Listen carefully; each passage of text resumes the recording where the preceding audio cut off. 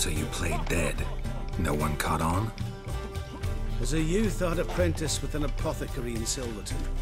Learned a thing or two about herbs. Sleeping mushrooms grew on the walls of my cell. And I found belladonna in the prison yard. Just had to mash them together and eat the pulp an hour before evening rounds.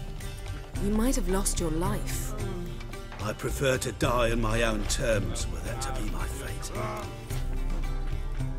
So theoretically, we could get in the way you got out. Assuming we don't mind the company of decomposing corpses. And assuming you can squeeze through the grate. They barred the outlet to the river after I escaped.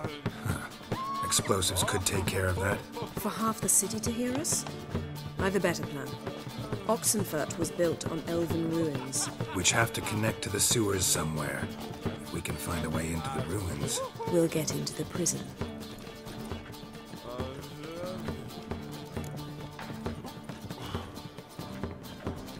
See? Wasn't so hard. One last bit of advice. Find a new tavern. Everyone here knows you. Thank you. Whatever your plans, I hope they work out. So do we. So long. Where'd you hear this? What he said about the guards could prove handy. True. Things will go more smoothly if we can get even a few of them drunk. Zoltan ought to manage it. I'll ask him. Let's meet on the Oxenfurt Bridge.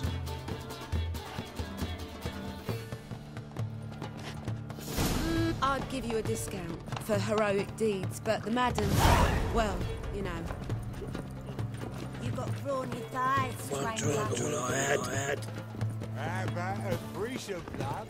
You mean me to grab another lass to join us?